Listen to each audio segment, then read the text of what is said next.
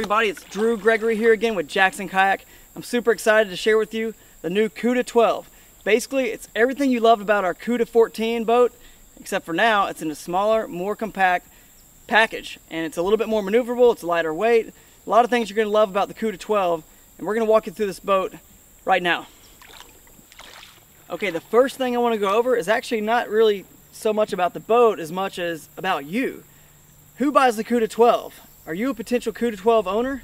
Maybe. It's really all about the water you fish. So, you know, in the Jackson line, we have the Coosa, which is built for, you know, flowing, moving water, rivers, really specialized for that. It works fine in ponds and small lakes, and of course, any kayak can go anywhere, but that's where it really, really excels, the Coosa.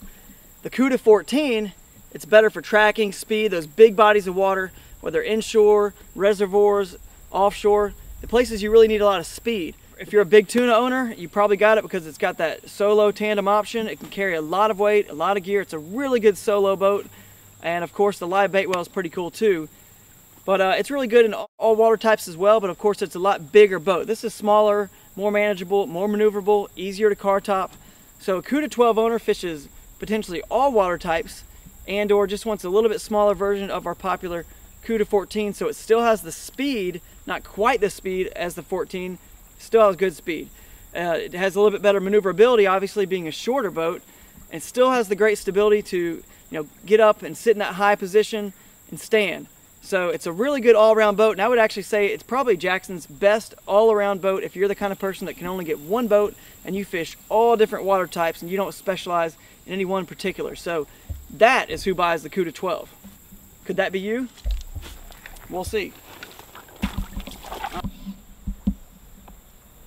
All right, so we're gonna talk about the bow first, and I'm not gonna bore you with all the exact same stuff that's on the CUDA 14, you know, that's on the CUDA 12. So we're gonna leave all that. You can go back and watch it on the CUDA 14 promo video.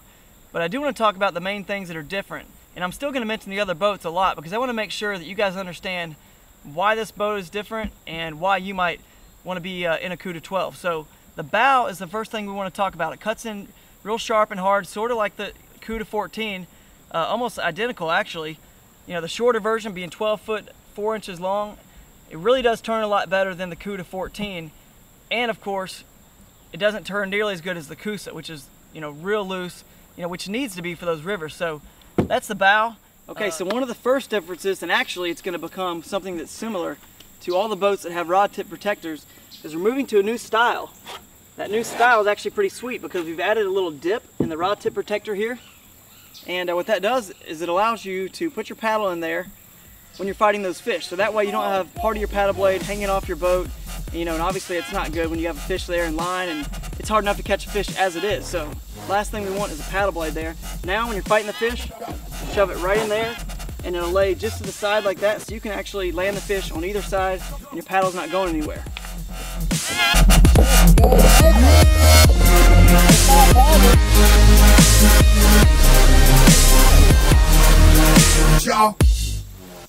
Okay, another feature near the rod tip protector, and it actually goes throughout the entire boat, is we've, we've protected our hardware with some little nubs here. So that way when you're car topping, putting it in the back of your vehicle or just shipping somewhere, you're less likely to break any hardware. Okay, so on the CUDA 14, you've got a large front hatch. Obviously on the CUDA 12, it's a shorter boat. You had to take that space from somewhere, and one of those places was the hatch. Still, we have a uh, nice size hatch here pop it open. We still reach down, get all kinds of gear in there for camping, uh, whatever, you know, put a lunch in there. Lots of space. Um, we also have the center hatch as well, just like the CUDA 14, so you can still get your rods all the way down inside the boat and plenty of room for tents and whatever gear you may need. Now this is a really cool feature that's happening on all the Jackson boats this year, fishing and recreational, whitewater, you name it.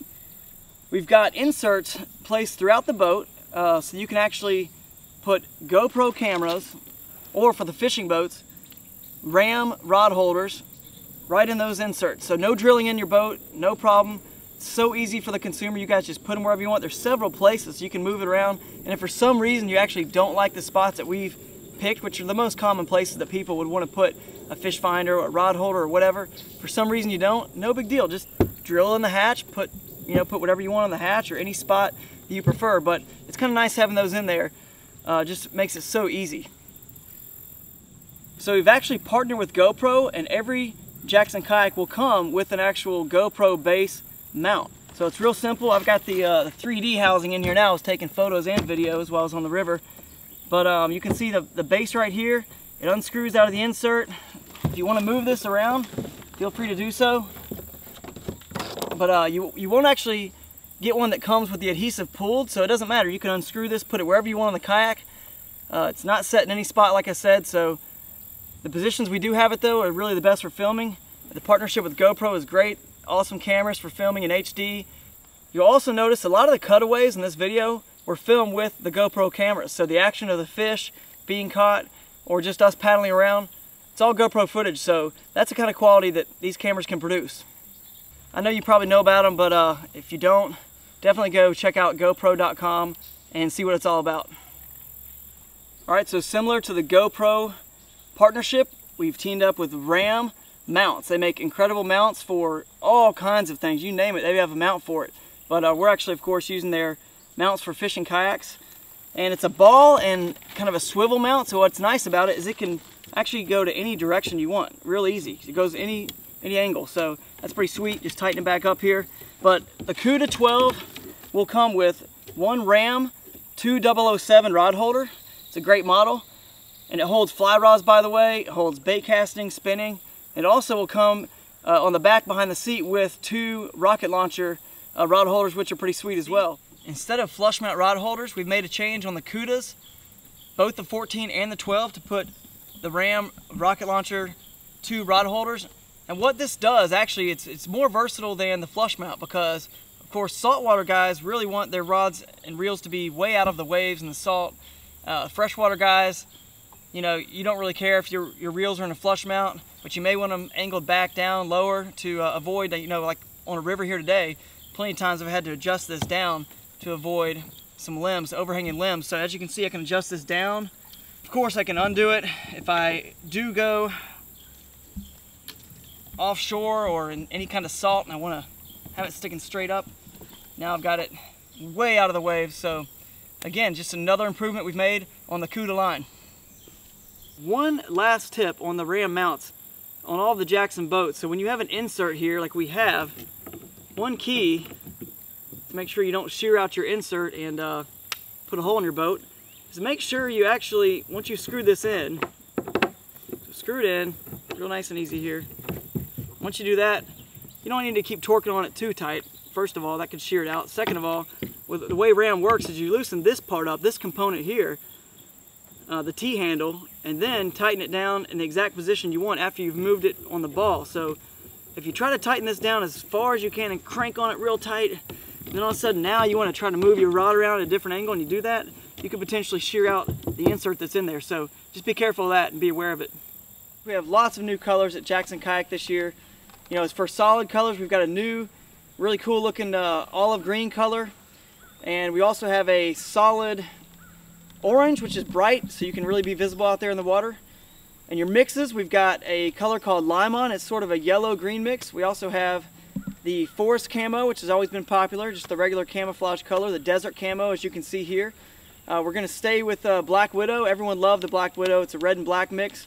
We also have a color called Earth. It's really neat. It's blue, a brighter green, and white. Really cool. Looks like, uh, I don't know, the Earth. So there you go.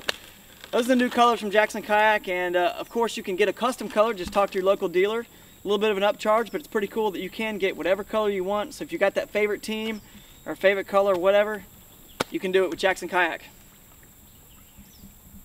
You will notice I do have a Nalgene bottle here. It says Jackson Kayak on it, pretty nifty.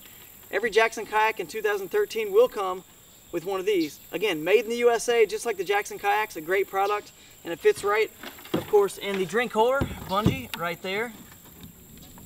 Okay, so one change we did make to our seat this year, the, the great Elite high-low seat that we have, we've added a curved seat back. That's just gonna make it a little bit more comfortable on your back. And of course, who doesn't like more comfort, right? Okay, so let's check out the hull of this bad boy so we can see exactly why it's so stable, why it tracks so well. Basically, we've taken the 31 inches kept it as wide as we could, and then we went straight down and then cut it across super flat on the bottom. Uh, we that's of course what gives you your stability. The more flat the area you have, the better. The Cuda 12, just like all the Jackson boats, still has all the great features that you've come to know and love. And even though we're not going to go over them in detail, I just want you to make sure you know it still has the high-low seating, the large tank well, bow and stern hatch. This version uh, is a non-rudder version, but it does come in a rudder version as well for a couple hundred dollars more. You've got rod stagers, paddle stagers. The large center hatch is still there, adjustable foot pegs, the uh, flat standing platform, tackle storage under the seat, the rear tackle bag still has all that stuff that you come to know and love from the Jackson product. And uh, now in that nice small package. So as always, thank you so much to you for giving feedback at Jackson Kayak. We really listened to it and hopefully this is uh, exactly what you guys were hoping for this year. Big thanks to the team at Jackson Kayak. It's a total team effort there. We couldn't do it without everyone's help at the factory and beyond. So big thanks to everyone at Jackson Kayak for being a part of this making a great boat that hopefully you guys are gonna have a lot of fun in on the water. So, you know, I gotta go. I got GoPros ready. I got rods ready. I can't take it anymore. I gotta get back on the water, hopefully catch some fish. But you guys have fun. We'll see you in 2013 in your new Cuda 12. Go!